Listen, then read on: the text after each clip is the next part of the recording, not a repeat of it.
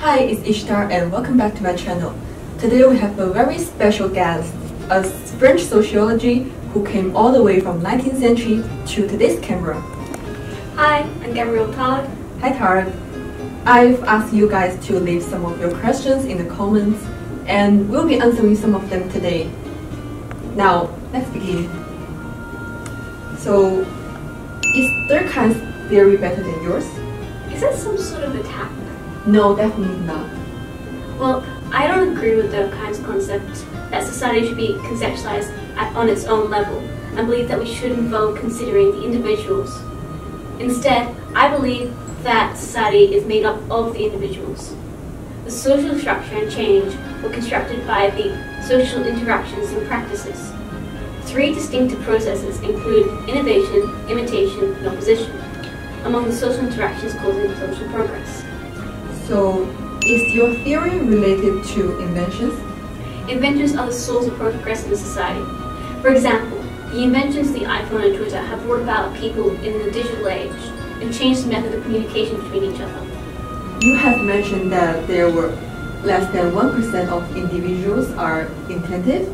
So if there are limited inventors, why there are so many new ideas or innovations in the society?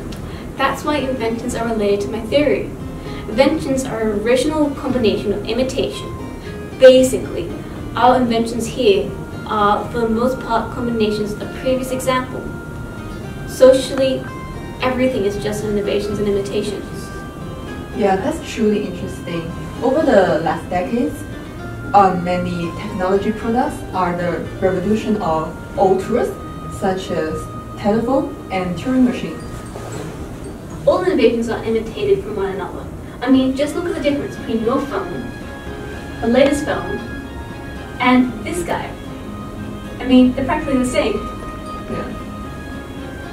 This is a clear example of my theory in the case of technological development. Yes, so we've got one final question. Could your theory apply to social culture? My theory was specified for social culture, but as I kept said before, it can be found everywhere, from technological innovation to social development.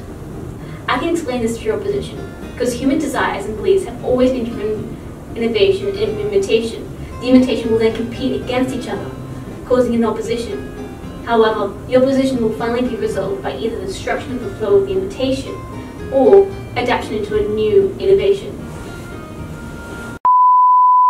Now that's a great example of social, the social idea that opposition progressed from progress was resolved by the destruction of the flow of imitation. The dab now being restricted to the uh, to dance movements where it originated, and the act of comedic relief in awkward moments. In contrast, there are developments such as the term OMG that have been around since the 19th century, my time, adapting its form from a postscript to a, in letter to becoming a true word in the English language, as it was added to the Oxford Dictionary in 2011, taking its place in everyday speech today.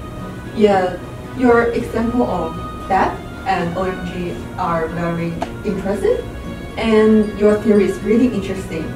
So that's all of the questions we'll be answering today. If you like this video, please thumbs up and click here for more and click here for subscribes. Well, I better get back to lecturing. Okay, see you. Wow, he just disappeared. How amazing.